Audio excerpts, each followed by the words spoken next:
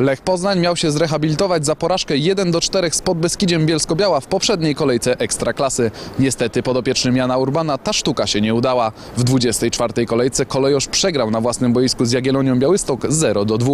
Wynik spotkania został ustalony już w pierwszej połowie meczu.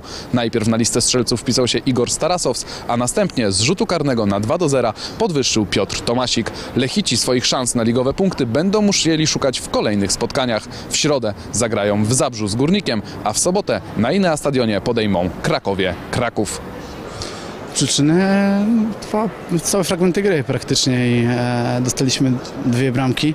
Mm, W pierwszej połowie miała Jagiellonia jedną taką sytuację sam na sam. Nie wiem, czy przy niej nie było też wspólnego, ale mieli jedną sytuację i w przebiegu całego spotkania mieli sytuacji bardzo mało. E, My próbowaliśmy, próbowaliśmy grać w piłkę, mieliśmy przewagę, ale mm, z tego nie wynikało. W drugiej połowie szczególnie staraliście się gonić e, wynik, no ale dzisiaj ta bramka jak zaklęta, no i też jak już dochodziliście do pozycji strzeleckich, no to te strzały e, no, trudno było nazwać dobrymi.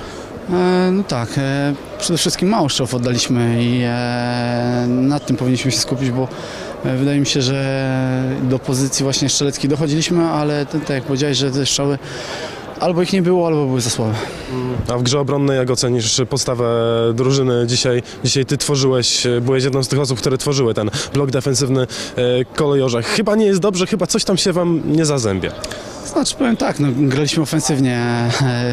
E, Jagiellonia, tak jak mówię, stworzyła sobie trzy sytuacje. Czekała na to, że my będziemy grali piłką, a i będzie nas kontrowała. No, nie ma co e, nie wiem, czegoś tam szukać. Straciliśmy dwie bramki i to, to boli, że na wiosnę w trzech meczach straciliśmy już tyle bramek. Po meczu głowa do góry.